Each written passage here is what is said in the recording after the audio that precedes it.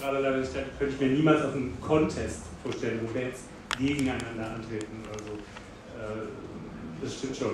Also, äh, und ich glaube auch, sowas kann sicherlich so, wenn ich jetzt, also, weil du sprichst wahrscheinlich auch so Strukturen an, die es dann gibt von der Stadt, Preise, die man gewinnen kann und so.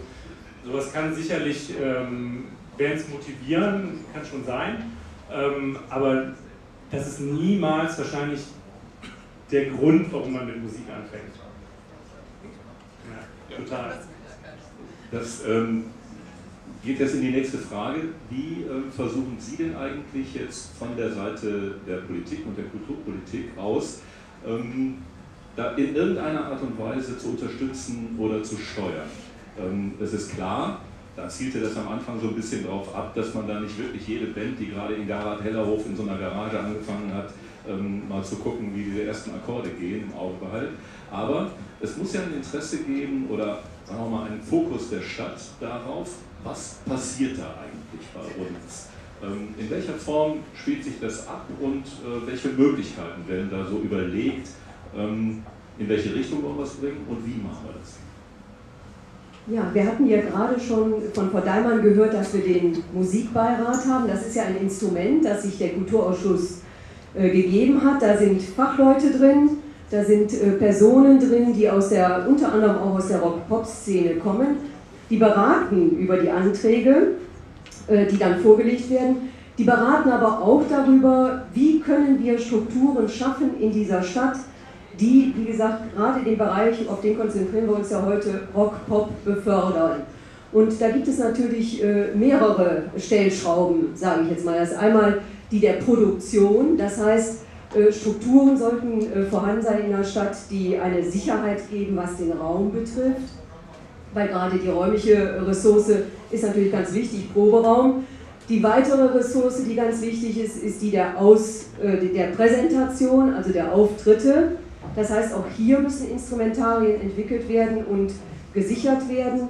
Und darüber hinaus gibt es natürlich noch ganz individuelle äh, Maßnahmen, die wir dann ergreifen. Ich nenne mal hier das, ich, an sich könnte es auch Frau Daimann sagen, aber ich greife jetzt mal einfach vor. Äh, die Individualförderung haben wir seinerzeit mit der Politik äh, beschlossen. Das sind immerhin 10.000 Euro, die wir einer Band geben im Laufe eines Jahres, mit der sie dann befördert werden kann. Und ich sag mal, ich habe nochmal nachgeschaut, die Förderpreise, die beiden, die wir im Bereich der Musik jedes Jahr vergeben, haben sich in den letzten Jahren äh, ganz massiv mit einem Preis immer auf die Rock-Pop-Szene konzentriert. Da ist keiner aus der E-Musik, keiner aus der Jazzmusik, also jetzt nicht beide, äh, wir haben äh, zwei Preise, aber die waren immer dabei und da waren dann auch Gruppen bei wie, wie äh, ähm, äh, Liquid Lightning oder Stabile Elite oder jetzt auch Stefan Honig, den wir gerade erst den Preis, äh, den wir den Preis verliehen haben. Das heißt, das waren nicht Broilers, aber die anderen sind uns bekannt. Hm, deswegen, äh, wir haben sie gefördert, gemeinsam mit der, der Jury und auch dem Kulturausschuss. Also das ist unsere Aufgabe, Strukturen zu schaffen, sodass sich darin etwas entwickeln kann in der Stadt und eine Atmosphäre zu schaffen, die positiv äh, sich auswirkt auf die Szene.